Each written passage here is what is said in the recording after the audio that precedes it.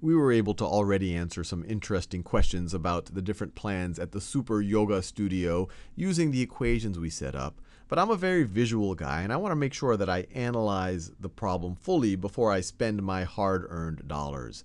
And what I want to do now is really see a visual representation for the relationship between how many sessions I attend and how much it's going to cost me. And I'm going to do it for the trial plan and the basic plan.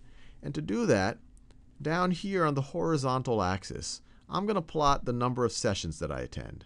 So S, that's is equal to the number of sessions I attend per month. And then here in the vertical axis, I'm going to plot I'm going to plot how much it's going to cost me depending on how many sessions I attend. So C is equal to my monthly cost. So let's think about these points right over here, and then even also think about how this equation relates to what we might end up drawing. So the first point here is that if I if I spend if I go to no sessions, it's going to cost me $0. So where would I plot that right over here? Well, if I attend no sessions, and I should have marked off a 0 right over here, it's going to cost me $0. So it's this point just like that. Now let's think about if I attend one session. If I attend one session, it'll be $12. Where would I plot that? Well, one session going to cost me $12. You see, this is $15, so $12 is going to be right around there. So I'll put it right over there. And then if I attend two sessions, where would I plot that? Well, two sessions are going to cost me $24.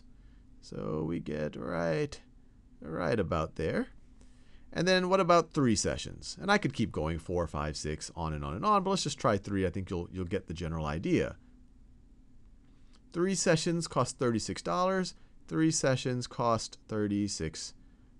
And you see that all of these points seem to sit on a line, and I can attempt I'll attempt my best to draw that line.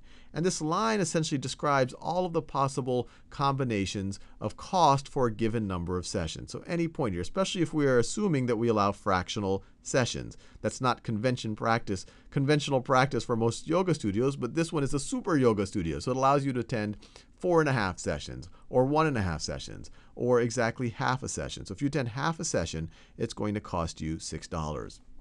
Another way to think about it is if you attend zero sessions, it'll be $0.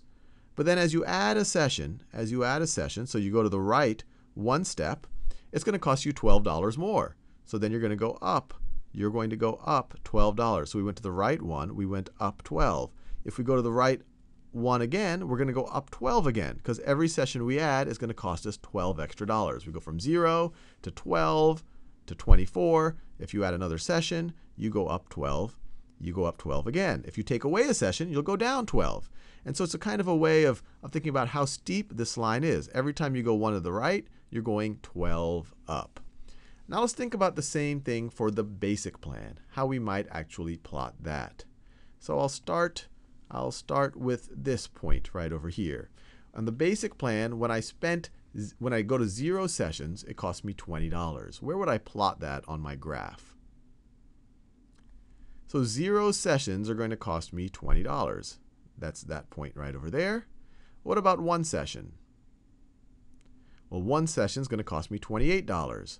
One session is going to cost me $28. And another way to think about it, you pay 20 no matter what, and as you add one session, your total cost went up by 8. You added one session, your total cost went up by 8. This scale and this scale is not the same. If I did it at scale, then you would see these lines would look a lot steeper, and I would have to make this axis go a lot, lot taller. But uh, hopefully you get the idea. You add one session, we went up by 8. You add another session. So that was 128. That's that point right over there. So if you have two sessions, it's going to cost us $36. Two sessions, well, where would we plot that? Two sessions are going to cost $36. So that is right over there. Or another way to think of it, think of it, we were at 28, we added another session, so we're going to add $8 to our cost. So 28 plus 8 gets us to $36. Now let's do this other point. Once again, we can keep going. Where would we plot the three sessions? So if we attend three sessions, it's going to cost us $44. So that's right right about there. right about there. And once again, we added a session and we added $8 to our cost. And you see these two, these two seem to sit on a line. These two seem to, although I didn't draw it as well as I can, so these two seem, seem to sit on a line.